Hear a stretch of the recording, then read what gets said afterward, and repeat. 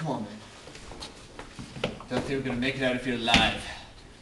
This bunker is not gonna hold up for long. Especially now with these technical technological advances in World War II. The atom bomb. The new and improved sea warfare. All these new techniques. Though, we do have lightning warfare on our side. It's we true. throw in all those fighter jets and then go back and screw everything up with tanks.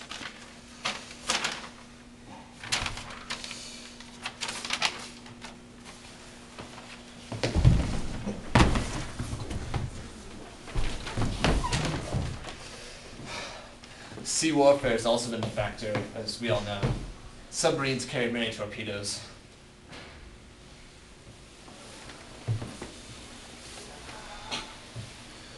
Also, these fighter jets. I can hear them now.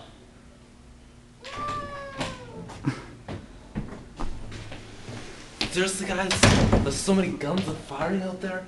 I was just in a hole, man. Hey, Reese, where you going? Get back here! back. Get back here, pal, everything. You coward. Coward. Game over? It's just, it's just us.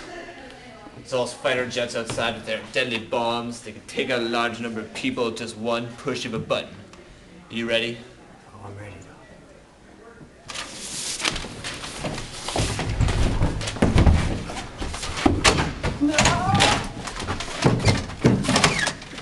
No!